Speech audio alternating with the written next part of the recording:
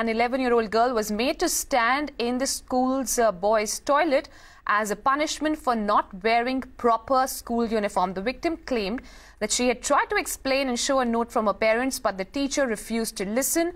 Child rights activists are condemning the act of uh, Rao's school management and demanding to book a case under sections of uh, the POCSO Act. The incident occurred at a school in Hyderabad.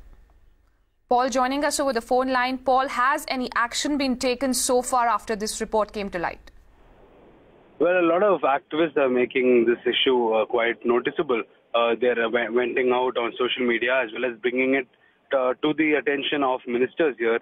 In fact, uh, KTR, who happens to be the son of uh, Chief Minister KCR as well as a minister in the state cabinet, has tweeted regarding this incident and said he will take it up with the district education officer and has called it ridiculous and shocking. And uh, we are hearing that a complaint will be filed by child rights activist Achyut Rao, uh, who belongs to the uh, Balala Hakkula Sangam, in regard to the incident. And he will also be approaching the State Human Rights Commission uh, to uh, tell them about such a kind of incident has happened.